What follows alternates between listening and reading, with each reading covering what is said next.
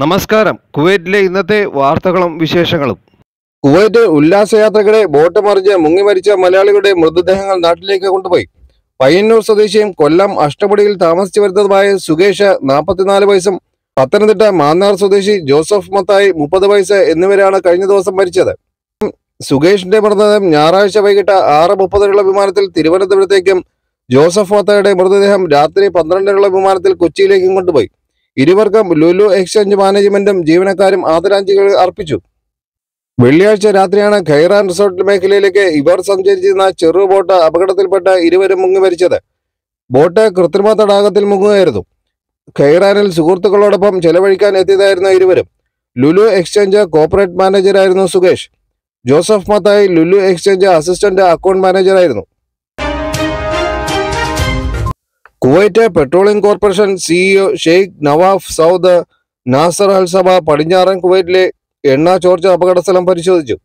എണ്ണ ചോർച്ചയുടെ പ്രത്യാഘാതങ്ങൾ പരിഹരിക്കാൻ എല്ലാ ഔദ്യോഗിക പിന്തുണയും ഉണ്ടാകുമെന്നും അദ്ദേഹം അറിയിച്ചു. ചോർച്ചയുടെ വിശദാംശങ്ങളും അപകടത്തിന്റെ ആദ്യ നിമിഷങ്ങൾ സ്വീകരിച്ച നടപടികളും സംബന്ധിച്ച് Kuwait oil company CEO Ahmed Al Adain Sheikh നവാഫിന് വിശദീകരിച്ചതായി കെ അറിയിച്ചു. രാജ്യത്ത് നൈറ്റ്കോം എന്ന മരുന്നിന് വിലക്ക്. ചില യുവാക്കൾ ഈ മരുന്ന് ദുരുപയോഗം ചെയ്യുന്നതായി കണ്ടെത്തിയതിനെ തുടർന്നാണ് തീരുമാനം. ഡോക്ടർമാരുടെ കുറിപ്പടിയില്ലാതെ ഈ മരുന്ന് വാങ്ങുന്നതും ഉപയോഗിക്കുന്നതും കുറ്റകരമാണെന്ന് കുവൈറ്റ് ആഭ്യന്തര മന്ത്രാലയം വ്യക്തമാക്കി. ഇത് പലരും ഉറക്കക്കുളിയായും മയക്കുമരുന്നായും ദുരുപയോഗം ചെയ്യുന്നുണ്ടെന്ന കണ്ടെത്തലിനെ തുടർന്നാണ് മന്ത്രാലയം കടുത്ത നടപടികൾ സ്വീകരിച്ചത്. ഈ മരുന്നിന്റെ ഉപയോഗം കൈവശം വയ്ക്കൽ പ്രൊമോഷൻ ഇറക്കുമതി കടത്ത് എന്നിവ കുറ്റകരമാണെന്ന് general director for narcotic control മുന്നറിയിപ്പ് നൽകി. രാജ്യത്ത് ഗതാഗത കുരുക്ക് രൂക്ഷം റമദാൻ മാസം സർക്കാർ ഓഫീസുകൾക്ക് ഏർപ്പെടുത്തിയ ഫ്ലെക്സിബിൾ ജോലി സമയ സംവിധാനം തുടങ്ങിയിട്ടും ഗതാഗത കുരുക്കിന് ശമനമില്ല. നേരത്തെ ജോലി സമയം ക്രമീകരിക്കുന്നതോടെ ഗതാഗത തടസ്സത്തിന് കുറവുണ്ടാകുന്നതായിരുന്നു പ്രതീക്ഷ. എന്നാൽ ഇത് നടപ്പിലാക്കിയിട്ടും രാജ്യത്തിന്റെ വിവിധ ഭാഗങ്ങളിലുള്ള റോഡുകളിൽ അതിരൂക്ഷമായ ഗതാഗത കുരുക്ക് അനുഭവപ്പെടുന്നത്. മുമ്പ് കാലത്ത് വിദ്യാലയ സമയത്ത് മാത്രമായിരുന്നു ഗതാഗത കുരുക്ക് അനുഭവപ്പെട്ടത്. എന്നാൽ സർക്കാർ ഓഫീസുകൾ മൂന്ന് ഷിഫ്റ്റുകളായി പ്രവർത്തനം ആരംഭിച്ചതോടെ നിലവിലെ റോഡുകൾ എല്ലാ സമയം തിരക്ക് അനുഭവപ്പെടുന്നതാണ് വിവരം. പുതിയ സാഹചര്യം സുരക്ഷാ ഉദ്യോഗസ്ഥരെയും ട്രാഫിക് പെട്രോളിനെയും കനത്ത സമ്മർദ്ദത്തിലാക്കിയിരിക്കുകയാണ്. പരീക്ഷണാടിസ്ഥാനത്തിലാണ് ഫ്ലെക്സിബിൾ ജോലി സമയം റമദാനിൽ നടപ്പിലാക്കിയത്. ഇത് വിജയകരമായാൽ റമദാനു ശേഷം ഈ സംവിധാനം തുടരാം എന്ന പ്രതീക്ഷയിലായിരുന്നു അധികൃതർ. എന്നാൽ ഈ സംവിധാനം വിപരീത ഫലമാണ് ഉളവാക്കിയതെന്ന് നിലവിലെ വിലയിരുത്തൽ.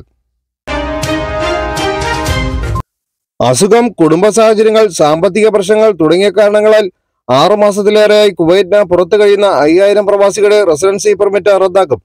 ഇവരുടെ റെസിഡൻസി പെർമിറ്റ് പുതുക്കാനായി പ്രവാസികൾ ഓൺലൈനായി സമർപ്പിച്ച അപേക്ഷ ആഭ്യന്തര മന്ത്രാലയം തള്ളി. ആറു മാസത്തിലേറെയായി രാജ്യത്തിന് പുറത്തു കഴിയുന്ന മറ്റു പ്രവാസികളുടെയും ഇക്കാമ റദ്ദാക്കും. ആറു മാസമായി കുവൈറ്റിന് പുറത്തു കഴിയുന്ന ഏതൊരു പ്രവാസിയുടെയും ഇക്കാമ residency authority of public authority information എന്നിവയുമായുള്ള ഒരു ഓട്ടോമാറ്റിക് സംവിധാനമായി സ്വമേധയാ റദ്ദാക്കും. ഇത് പ്രവാസിയുടെ വർക്ക് പെർമിറ്റും അവരുടെ സിവിൽ ഐ ഡി കാർഡും റദ്ദാക്കുകയും ചെയ്യും. ആഭ്യന്തര മന്ത്രാലയമാണ് ഇക്കാര്യം അറിയിച്ചത്. രാജ്യത്തെ മഴക്കെടുതിയെ തുടർന്നുണ്ടായ സുരക്ഷയും ഗതാഗത സാഹചര്യം നിരീക്ഷിക്കുന്നതിനുമായി പ്രഥമ ഉപപ്രധാനമന്ത്രിയും ആഭ്യന്തരമന്ത്രിയും ആക്ടിംഗ് പ്രതിരോധ മന്ത്രിയുമായ Sheikh Talal Khalid Al Ahmed Al Sabah നിരവധി റോഡുകൾ സന്ദർശിച്ചു.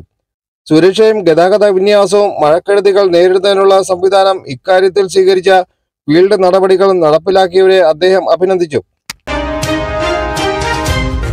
ആഭ്യന്തര മന്ത്രാലയം മാൻ പവർ അതോറിറ്റിയുമായി സഹകരിച്ച താമസ നിയമങ്ങൾ ലംഘിക്കുന്ന എല്ലാവരെയും പിടികൂടി നാട് കടത്തുന്നതിന് വിപുലമായ സുരക്ഷാ ക്യാമ്പയിൻ ഉടൻ ആരംഭിക്കും. റിപ്പോർട്ടുകൾ പ്രകാരം ഏകദേശം ഒരു ലക്ഷത്തി എൺപത്തിരണ്ടായിരം അനധികൃത തൊഴിലാളികൾ ഇവരിൽ പലരും വ്യാജ കമ്പനികൾ കീഴിൽ രജിസ്റ്റർ ചെയ്തിട്ടുണ്ട്. ഉപപ്രധാനമന്ത്രിയും ആഭ്യന്തരമന്ത്രിയും പ്രതിരോധ മന്ത്രിയുമായ ഷെയ്ഖ് തലാൽ അൽ ഖാലിദിന്റെ നേതൃത്വം നൽകുന്ന ജനസംഖ്യാപരമായ മാറ്റങ്ങൾക്ക് മേൽനോട്ടം വഹിക്കുന്ന കമ്മിറ്റി റെസിഡൻസി തട്ടിപ്പുകളും വിസ കച്ചവടവും തടയുന്നതിന് കൂടുതൽ നടപടികൾ സ്വീകരിക്കാൻ ബന്ധപ്പെട്ട അധികാരികൾക്ക് നിർദ്ദേശം നൽകി. അതേസമയം സ്വകാര്യ മേഖലയിൽ അറുപത്തിരണ്ടായിരം തൊഴിലാളികൾ ജോലി ചെയ്യുന്ന നിയമലംഘനം നടത്തുന്ന കമ്പനികളുടെ പതിനേഴായിരം ഫയലുകൾ താൽക്കാലികമായി സസ്പെൻഡ് ചെയ്തതായി മാൻപവർ അതോറിറ്റി അറിയിച്ചു. ഈ നിയമലംഘനങ്ങൾ പരിഹരിക്കാനായി ഒരു മാസ സമയം ഈ കമ്പനികൾക്ക് അതോറിറ്റി അനുവദിച്ചിട്ടുണ്ട്. General administration of residence affairs investigation Khaitan മേഖലയിൽ നടത്തിയ സുരക്ഷാ പരിശോധനയിൽ താമസ നിയമം ലംഘിച്ച എട്ട് പ്രവാസികളെ പിടികൂടി. അതോടൊപ്പം കുവൈറ്റ് മുനിസിപ്പാലിറ്റിയുടെ എല്ലാ നിയമങ്ങളും ലംഘിച്ച എട്ട് തെരുവ് കച്ചവടക്കാരെയും പിടികൂടി. നിയമ നടപടിക്കായി ഇവരെ യോഗ്യതയുള്ള അധികാരികൾക്ക് കൈമാറി. രാജ്യത്ത് രണ്ട് പെൺകുട്ടികൾ ആത്മഹത്യയ്ക്ക് ശ്രമിച്ചു.